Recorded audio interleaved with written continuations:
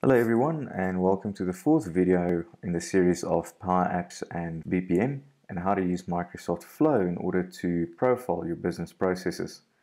This is the fourth video in the series so if you haven't watched the, the previous ones it might be a good idea to do so. I will provide a link in uh, YouTube right about now and um, today we're going to look at the custom connectors and how we use those in order to extract the information from Flow and how to make that available to Power Apps.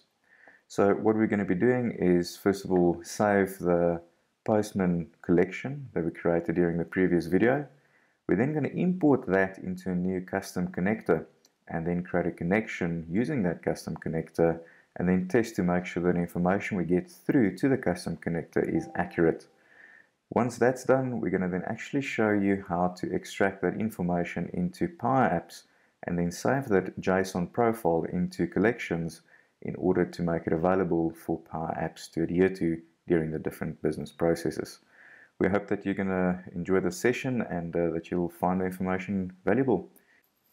First, let's have a look at the flow that we're going to use for the rest of the exercises. And uh, you'll note that the previous one that I built uh, from scratch during the previous video looks a little bit different to the one that I'm showing you on the screen at the moment.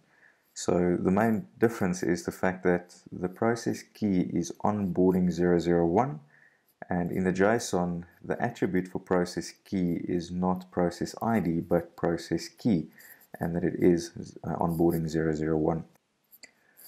So now we're ready to copy this URL from the flow request into Postman. So we click on the copy button and that copies that into clipboard.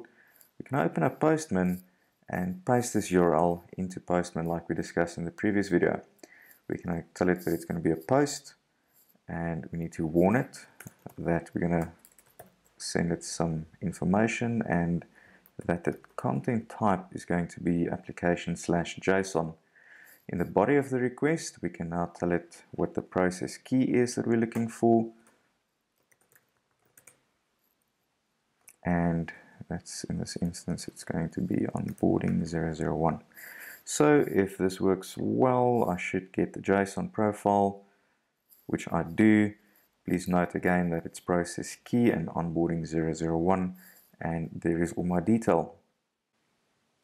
There are a couple of different options to create these custom connectors in Power Apps in this example we're going to be importing a Postman collection which means that all of the settings that we've specified during this request will now be built into a file and then imported into the custom connector in order for it to understand how to interact with this web API, which in the backend is a flow, but Postman and the custom connector won't know that it's actually running in flow.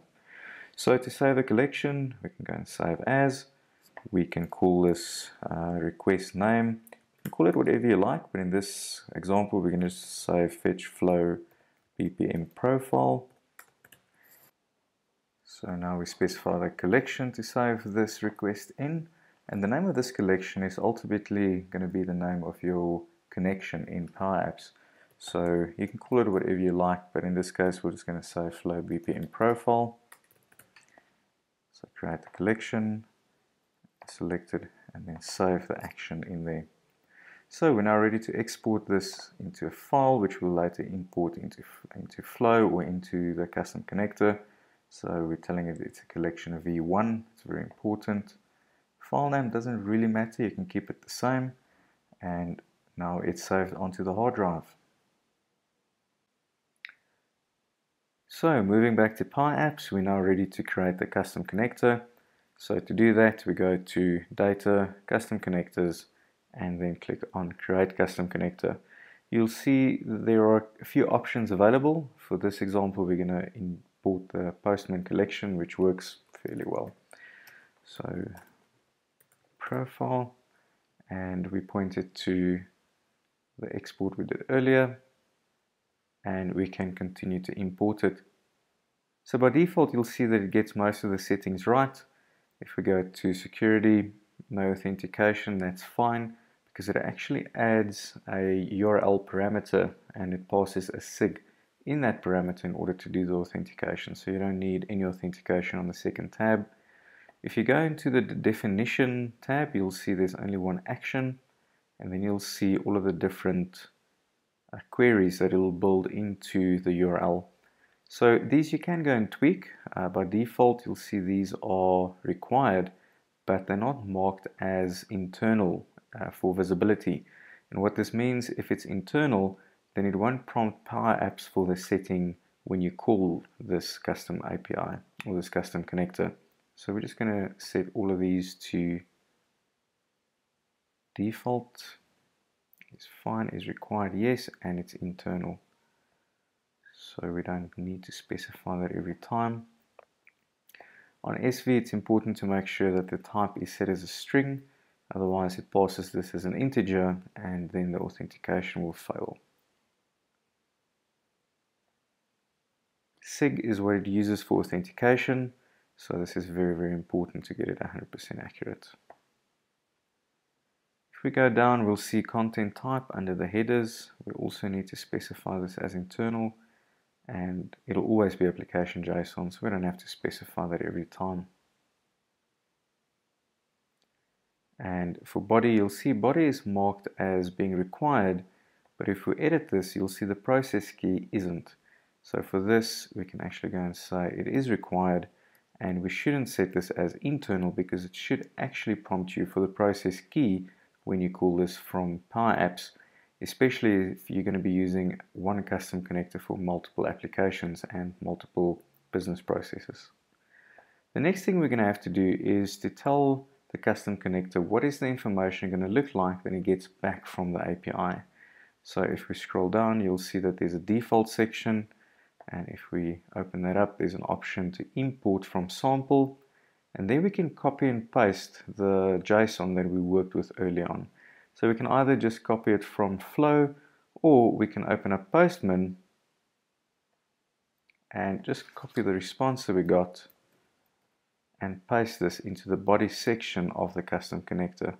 And this will tell Flow, uh, sorry, this will tell the custom connector what is the information going to look like that it gets back from this custom connector or custom API.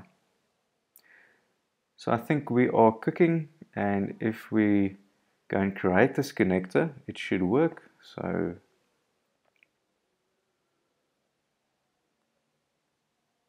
you'll see at the top it's updating the Swagger file, which is a very good thing. You don't want to do that.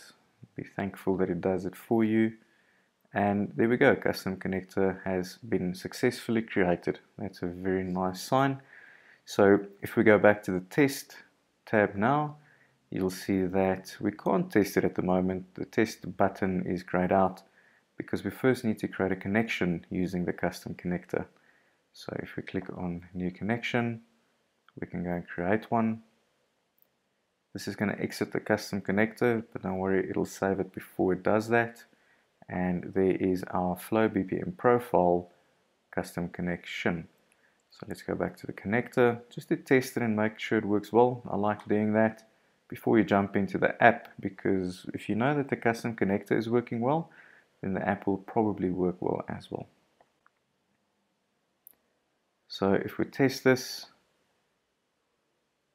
and scroll down, you'll see that the process key we have to specify and that'll tell Flow which business process profile we're looking for. So in this case, we're looking for the onboarding 001 process. So if we hit test, um, it's either going to work or it's going to give us an error. And in this case, it's giving us a 404 error, which is perfectly normal. And it simply says that the operation is being provisioned. Please try again in a few minutes. Now, it's at this stage where we don't want to know what's happening in the back end. There are some very clever guys who have developed this in the back end, and we've got rockets launching and fantastic things happening right now. But while that's happening, go and have a cup of coffee, come back in about 5 to 10 minutes, and when you click the test button again, it should work fine. Alright, so it's about 10 minutes later and we are back and lo and behold, click on the test button and we've got a successful response. So there's our JSON, this is exactly what we were looking for. Um, so we're now ready to move on to Power Apps into the app and to see what this information will look like when we start populating collections with this. So in a brand new app, uh, it's a tablet layout. It's not relevant that it's a tablet layout app, but it is one. So if we go to view data sources, we can go and add that connection that we added earlier and added from the list. Added it. Okay, so a little bit worried about that. It might still ask me to confirm that I'm allowed to use the connection. But let's go and try. So now we can go and insert a button just to see what the data will look like when we get it back. And to say on the collect, clear collect, just call the collection test, really doesn't matter at this stage. We're going to call it flow BPM profile dot fetch flow BPM profile. Now it's asking us for the process key. I'm going to say it's onboarding 001 and let's see if that works. See the running ants at the top of the screen and it finished without giving me a warning. So let's go and have a look at the collections. And there we go. So there's our process key, the process name, and then you'll see that this funny icon over here means that it's an array of data. And if we open this, it's got all of the process steps that we specified in JSON. So you'll see each one of these rows represents a step in the process, and then some of these attributes are actually arrays like uh, editable fields or mandatory fields or step options or visible fields. These are all arrays and this is now ready for us to start consuming uh, the business process in Power Apps. So we'll cover this in a lot more detail during another video, but I just want to quickly show you what we can do with this information now that it is available in Power Apps. So first thing, let's go and update this button. At the moment, we're populating a collection called test. So that doesn't make a lot of sense. Let's call it an awesome workflow manager. And we want to get the entire workflow profile for that uh, into that collection. So second thing we want to do is also do a clear collect and we now want to call it the same but we want to append steps and we're going to do that by ungrouping the current collection and we're going to use the process steps to ungroup it on so if we do that run this button, you'll see the running ants at the top of the screen. And if we now go into collections, you'll see that we have two collections, one for the entire workflow or business process profile, and one that just contains the various steps. We can now use this information, and the first example is, let's say you want to add a header to the welcome screen of your application to display the name of the process. To do that, you can go to Insert, insert a label, and we can simply go and say first value for entry for that and take the process name and display that value. So essentially there is our header that we can now display on the top of the application. Um, and if you update that in JSON in Flow, the next time the Power Apps restart, all of them will get the latest version and the latest information for this. So the next example is if you want to display statuses of the various workflow steps. So let's say a record is currently in step 2. We want to know what status to display for that record in Power Apps.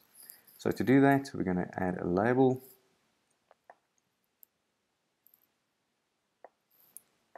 Okay, let's use a lookup function to look up process steps where the step ID equals S2 as an example and we want to return the step name. There you go. Step 2 is HR approval. Step 3 is departmental manager info and step 1 is new staff request. So it's very easy to now automatically stamp these records with the correct status depending on which step they're in. Next, let's take the same formula and now display the options that's relevant for a specific workflow step. So let's go and insert another label. Actually, let's not insert a label. Um, let's rather do a control, a radio control. That'll make more sense for a, an option selection, I'd say. And we simply paste that in there. And instead of step name, we can go and use step options. So for step one, we only have the one option. For step two, we have multiple. And so on and so forth and that's how it's that easy to display the correct options for the user at the relevant step in the business process. So this concludes our session on the custom connector. Uh, please join us for the next video where we'll be discussing the data sources in a little bit more detail. We're now in a position where we've got the JSON business profile in Power Apps. Now we need to start manipulating the fields and seeing how we're going to submit these things into the various data sources. So please join us next time. Uh, if you have any questions or suggestions, please get in contact with me on my contact details on the screen at the moment. Thank you very much for all of the positive feedback so far, and uh, we're looking forward to hearing from you. Thank you so much. Have a good day. Bye bye.